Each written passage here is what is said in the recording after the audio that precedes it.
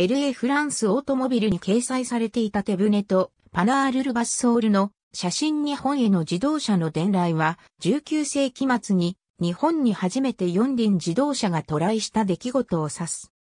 日本に持ち込まれた最初の四輪自動車は1898年1月にフランス人ギシジャン・マリー・テブネが持ち込んだガソリン自動車パナールルバッソールだとされているが、この記事ではその車両を特定するに至るまでの経緯と特定される以前に論じられていた諸説について主に扱う。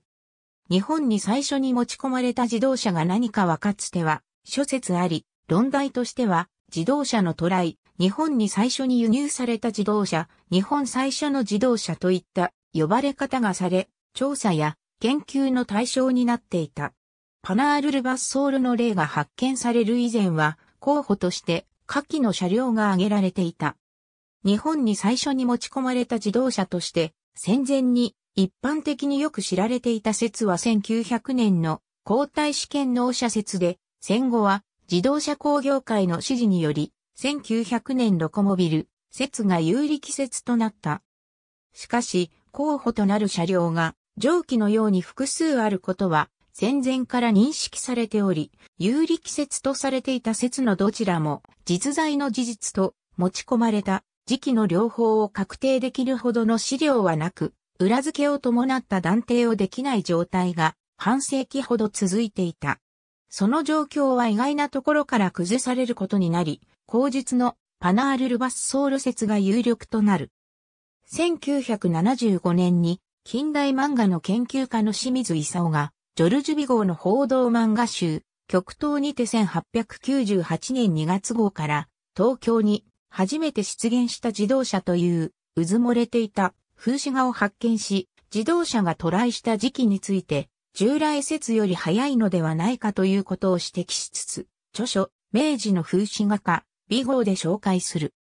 1975年3月10日、NHK で時代交渉の業務に当たっていた斎藤俊彦は、東京朝日新聞1898年1月11日付の記事に自動車の初輸入についての言及があることを発見し、定年退職を機に1985年夏からかねて懸案だったその車両の調査を開始する。調査の過程で清水の著書にも行き当たって確信を深め、斎藤は調査結果をベールを脱いだ幻の第一号車という記事にまとめ、1987年3月に雑誌自動車とその世界で発表する。しかし、当時の斎藤は無名であり、一方の当時、定説とされていた1900年ロコモビル説は、日本自動車工業会が主張しているものであったため、この発見は黙殺されることになる。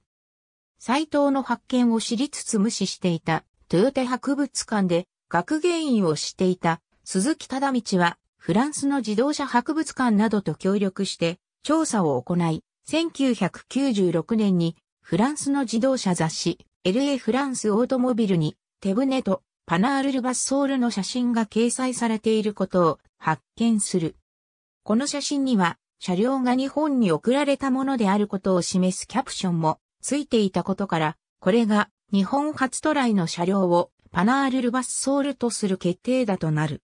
さらに追加調査によって、創業期のパナール・ルバッソール社の生産記録から、1897年末に日本を仕向け地として納車された車両があることも判明し、調査結果は補強された。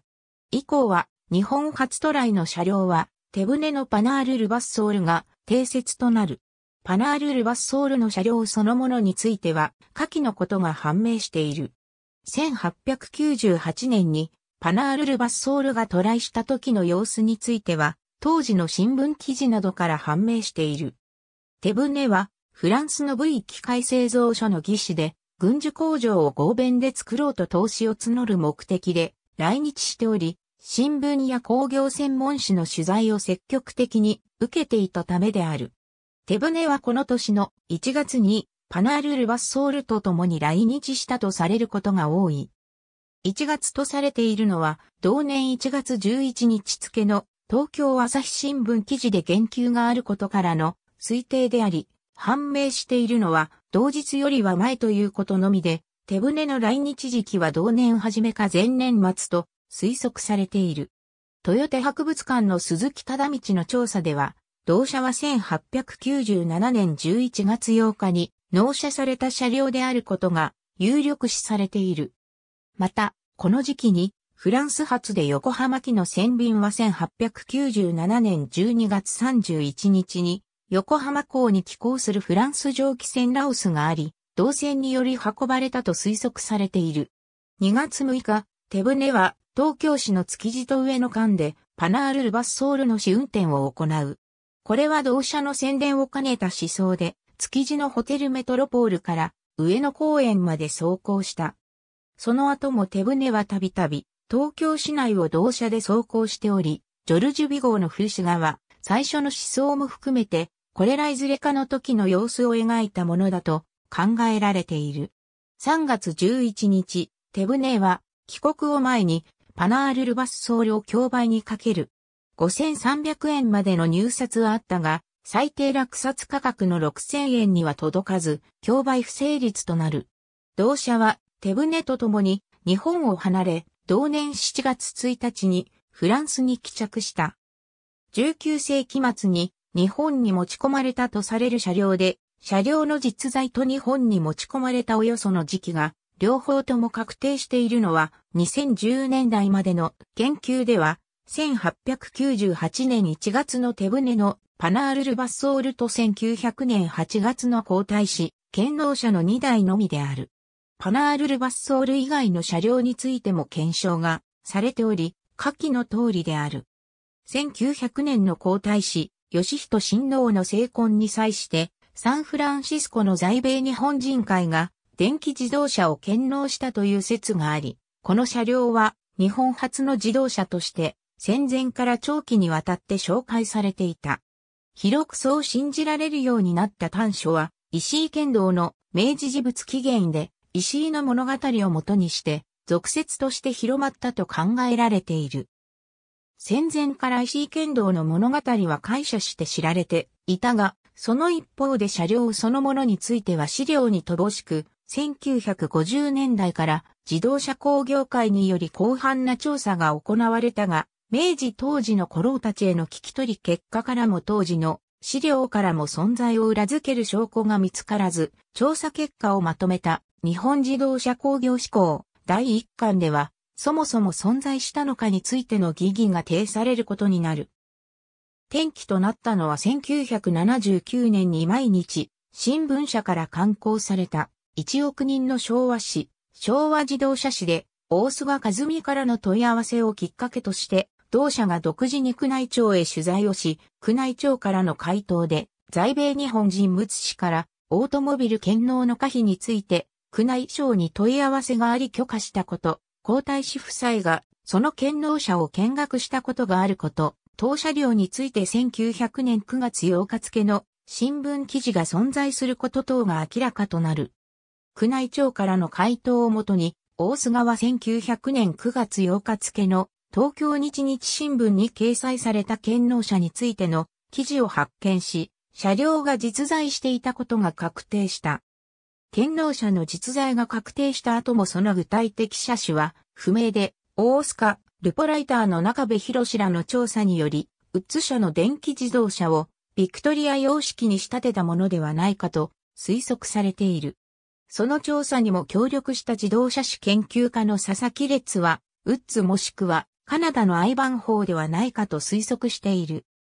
戦前からこの交代試験納車説は研究者の間では支持されていなかったが、この説が広まった背景には、戦前の皇室崇拝があり、日本初のものに皇室が関わっているという話は、皇室を商用する上でも都合が良く、そうした事情からこの説が好まれて広まったと考えられている。日本の自動車試験級において、尾崎正久と柳田良さんの2名は、戦前期の研究者の大家だったが、尾崎はプログレス電気自動車説を支持し、交代試験納車説は俗説として否定している。柳田は自動車30年史で交代試験納車を第1号車としたいとして挙げているが、これはブッシュ統制下で同書を刊行するために、そう記述せざるを得なかった事情をにじませていると評価されている。プログレスサイクル画像の車両は4輪1899年に横浜で三輪のプログレス電気自動車が走っていたという説である。内山駒之助が目撃談を座談会で語ったり、大日本自動車製造で上司だった石沢愛蔵に語ったりしている。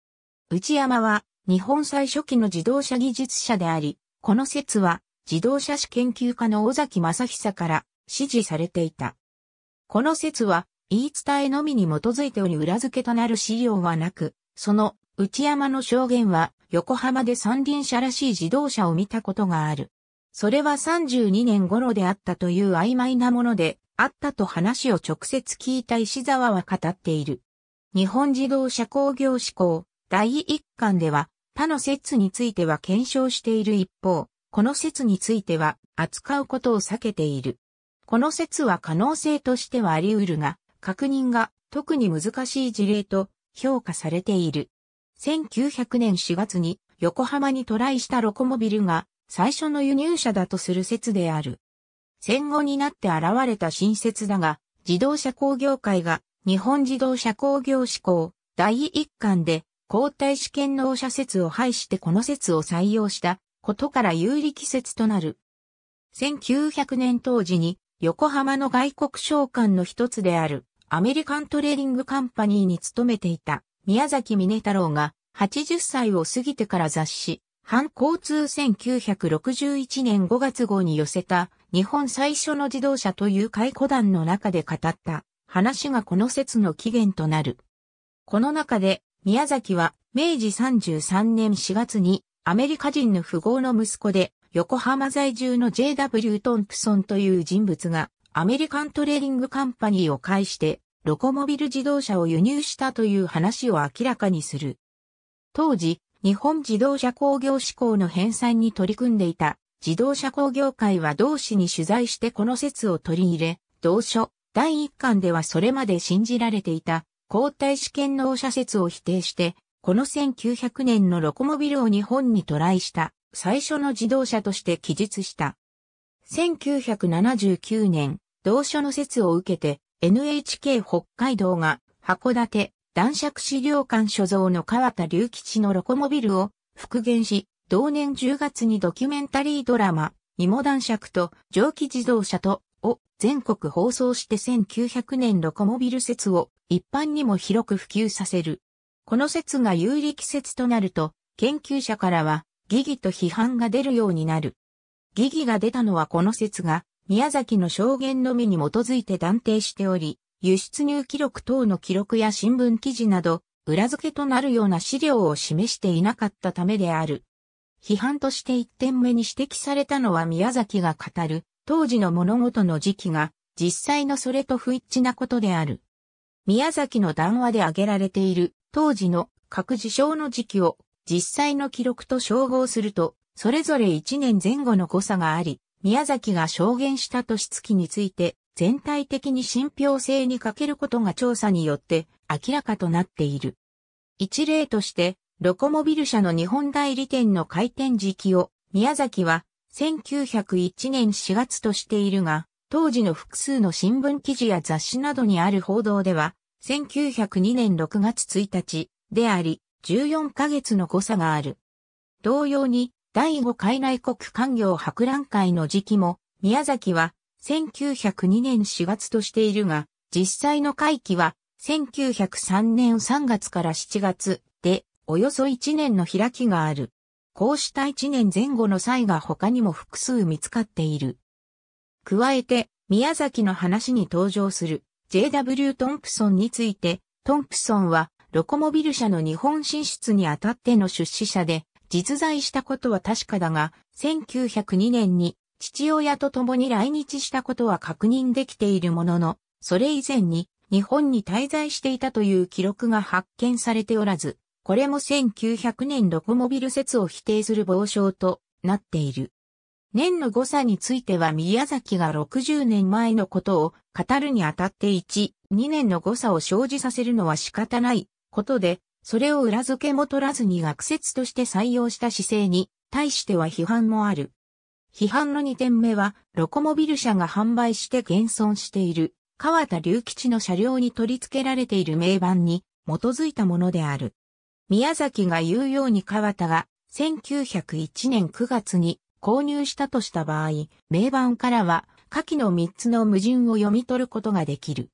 それらの批判に加えて、ウォルター・ストーンが1902年4月にロコモビル8台を輸入したことの記録が発見されていることでも疑義を深めている。車両の引き取りに際してストーンは、ロコモビルの関税の税率をめぐって、横浜税関と争っており、異議申し立ての経緯と採決についての記録が残っている。もしそれ以前から同社の輸入実績がある場合、この争いは不自然ということになる。上記の2点目に関連して、ブリッジポート工場から横浜までの輸送には、当時およそ40日かかったと考えられているため、川田隆吉の車両も、この1902年4月期の8台の1台と考えた方が無理がない。日本に初めて持ち込まれた車両の定説を書き換えることは、日本自動車工業志向にとってはいわば目玉だった。同書は、ロコモビル説を主張するにあたって、皇太子権能者説に長文の批判を加えており、そこには昭和初期の大日本帝国政府におもねって歪んだ自動車の歴史を訂正しようという意気込みが感じられると同時に、その意気込みが定説への過度な否定につながっていることもはっきりと読み取れると言われている。つまり、資料的な根拠に欠ける説にもかかわらず、皇太子権能者説や背景にある戦前の政治体制への反発が動機となって、新説を強引に断定してしまっている感は否めない。説の根拠は一個人の解雇団のみであり、明確な証拠は示されていなかったが、自動車製造会社の業界団体である自動車工業会が日本自動車工業志向に載せた説であったため、説の適否について検証されることはなく、百科事典や自動車博物館の説明文、自動車メーカーの写真などで長年にわたって引用され、続けて広まった。どの時期にも、どの研究者からも最有力説として扱われたことがない小説は、下記の通りである。一部の説は可能性を否定しきれないものの、いずれも実在や輸入時期の根拠となる資料を片方もしくは両方とも書いており、不確かな説である。ありがとうございます。